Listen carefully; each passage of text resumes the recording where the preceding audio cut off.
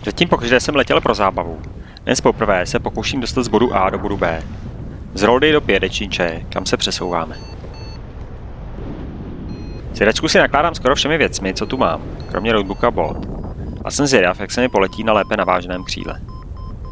Se startem hodně váháme, protože na cestu doprava to chce dobré dostupy. Dnes je hodně vysoké. Jak navíc později zjišťuji, tak údolím u země fouká 5 metrů za sekundu proti vítr. Nakonec do toho jdu první, ostatní krátce po mně. Vytáčím základnu a letím na Bolívar. Odletám jeden mrak nad hřebenem, nic. Druhý to též. A nakonec se musím zachraňovat u Brtku před roldou.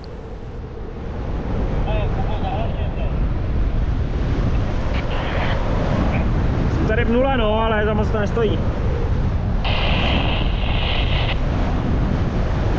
Letěl jsem dva mraky a nic pod nima.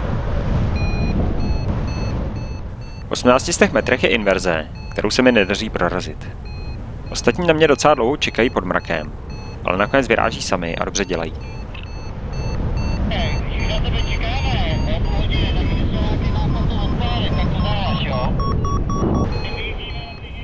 U Brtku nakonec strávím přes dvě hodiny, dokud nepřistanu v roldě.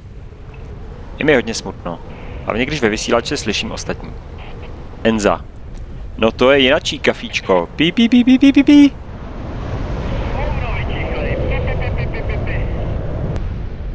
Křemílka.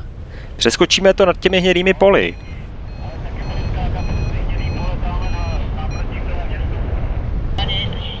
Janču. Pojďte za mnou, tady je to dobrý.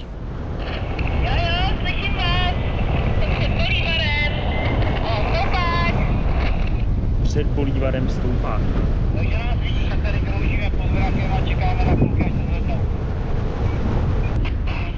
Já se mezi tím pořád pokouším prorazit inverzi a něco vymyslet. Ale dnes mi prostě není přáno. Nevím, co.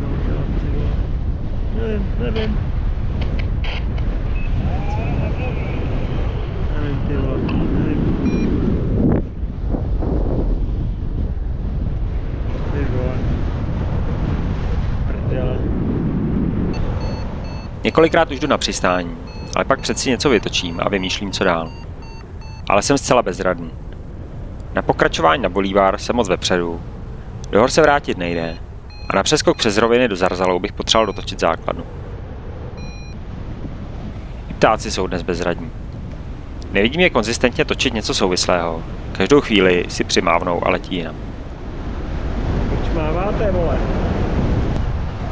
Za letu cítím frustraci, závidím ostatním parádní společný let.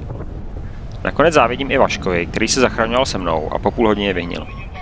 Aspoň to už měl za sebou a neprožil dvě hodiny bezradnosti v protivných rozbitých stoupácích.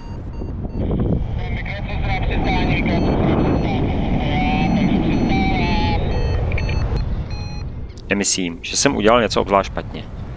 Jenče letěla podobnou stopou jako já o 10 minut později a prosvištěla to přesně tak, jak jsem si to představoval. Měl jsem prostě smůlu, že jsem se propadl pod inverzi a už se nad ní nedokázal vyhrabat.